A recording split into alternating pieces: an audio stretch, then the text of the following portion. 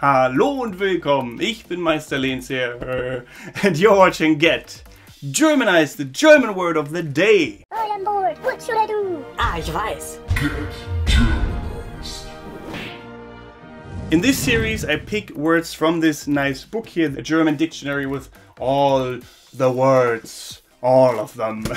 and basically, like I said, I'm going to pick one out of this book and explain it with example sentences. You can, of course, also suggest words in the comments that I should explain with example sentences. But I'd say for this episode, let's get started. And the word of the day is Wortschatz. That is actually a really good word. Der Wortschatz the vocabulary. Der Wortschatz means the vocabulary, or literally translated, the word treasure. Basically, all the words that you have uh, in your brain. Der Wortschatz. Mein Wortschatz ist so begrenzt. Ich glaube, ich bin dumm.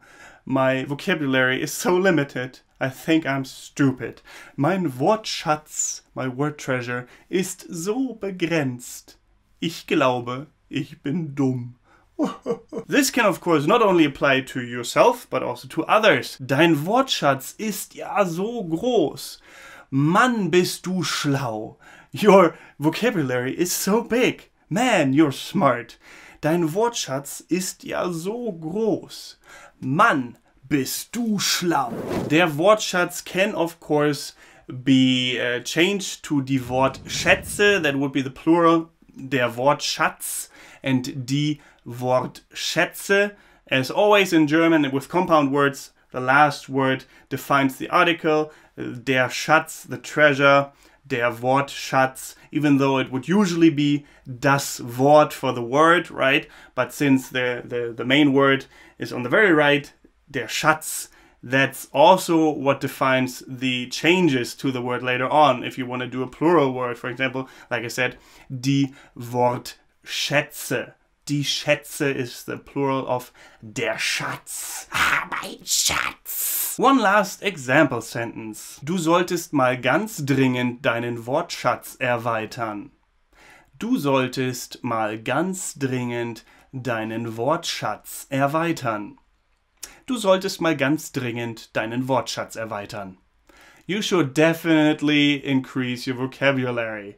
ASAP. So, this was Der Wortschatz. I hope you found this helpful. Uh, you don't really use die Wortschätze that often, to be honest, the plural form of it. So der Wortschatz is probably what you're gonna hear and use more often. But nevertheless, I thought I'd include it anyway. If you liked this video, if you want more of these, let me know by posting a comment telling me about it or leaving a like on the video always helps to see if you enjoyed it or not. Subscribe if you haven't yet. Share this video with all your German learning friends to keep this channel going and the series going. And apart from that, thank you very much for watching. Don't forget to get Germanized. Goodbye and auf Wiedersehen.